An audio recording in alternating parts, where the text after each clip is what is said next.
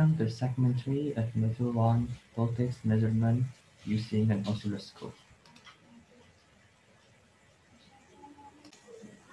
These are the outline for this segment.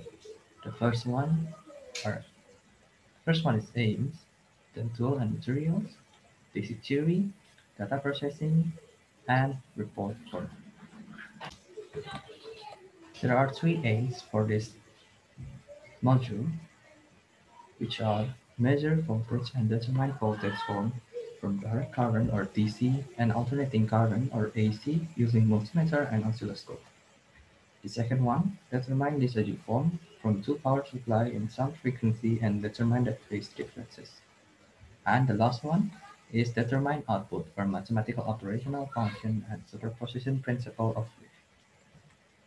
These are the two raw materials that we use in this experiment. And then we go to basic theory. There are two theories that will be needed to understand this module, which are oscilloscope and Lissajous pattern. Let's go with oscilloscope first. Oscilloscope is a tool to examine voltage signal that may be constant or dynamic. There are two types of oscilloscope analog oscilloscope, as you can see from this picture above, and digital oscilloscope. Analog oscilloscope use cathode ray tube or CRT that works under analog electronics principle. And the second type, the digital oscilloscope. Digital oscilloscope works under digital principle. It works using digital principle. In digital oscilloscope, the CRT is no longer used as a, as a display. An LCD monitor is used instead. So digital oscilloscope is oscilloscope, the type of oscilloscope that we use in LFD. These are buttons on the digital oscilloscope. And then after that, the Lissajous pattern. The Lissajous pattern is a display mode on the oscilloscope screen that can be used to find phase difference, frequency, and magnitude comparison of two waves. We will need this to find phase difference. There are two equations that govern the Lissajous pattern. The first one above is used for the left picture, while the Lissajous pattern is tilted to the right, while the second equation is used for the right picture. It used when the Lissajous pattern is tilted to the left. As you can see, there are A, B, C, and D. B represents the distance between two points and the Lissajous pattern that cross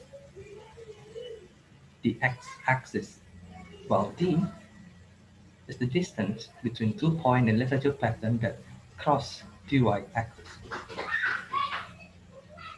The A is the farthest distance, the farthest x direction distance. From the left farthest point to the farthest point on right on the right, while C is the distance between the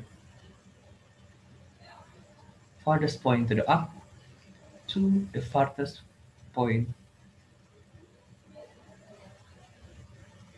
in the down. Now, let's continue to data and processing. There are four experiments in this module. Experiment 1, measuring direct current or DC voltage. We determine the average voltage for two instruments, multimeter and oscilloscope. For this experiment and the second experiment, you will be given the picture and you need to do the table by yourself. So the data in oscilloscope is pretty clear from the picture. You can see the voltage, the average voltage from the picture. For experiment 2, measuring alternating current or AC voltage, we will have two variations. The first variation, we,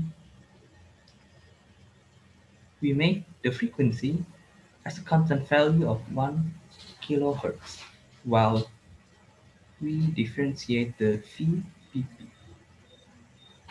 And then the second table, the second variation, we make the VPP as constant as possible to 2 volt.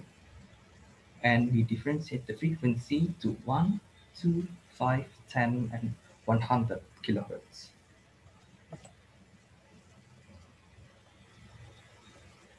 For experiment 3, we will be given the picture of 1 to 1 frequency of Lissajous pattern, 1 to 2, 3 to 1, and 3 to 2.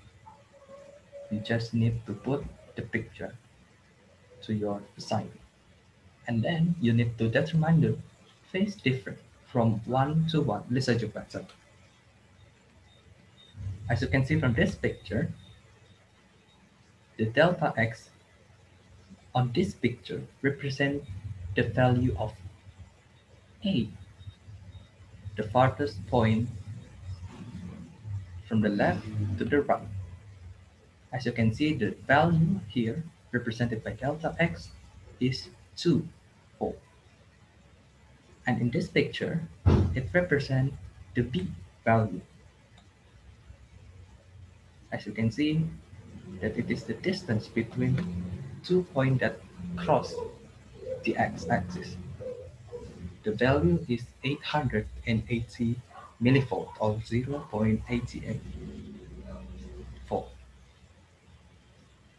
Because the Lissajous pattern is tilted to the left, we use the second equation 180 degree minus arc sinus b per a.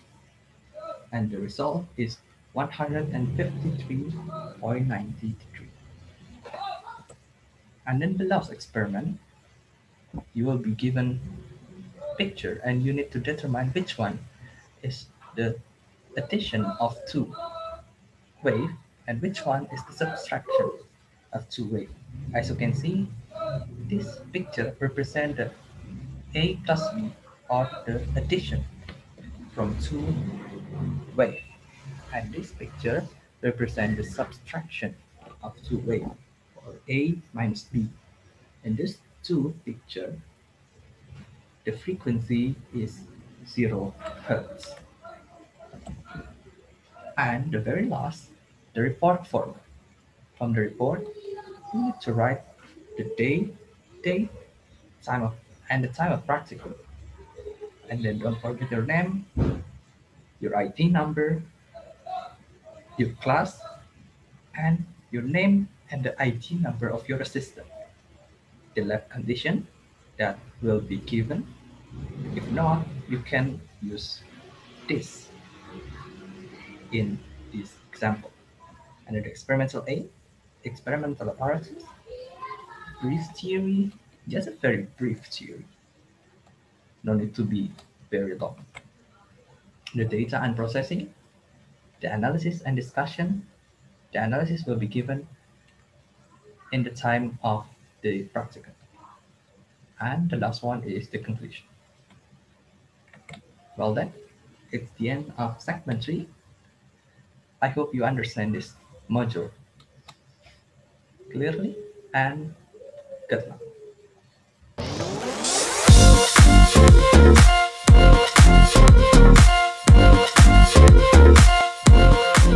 you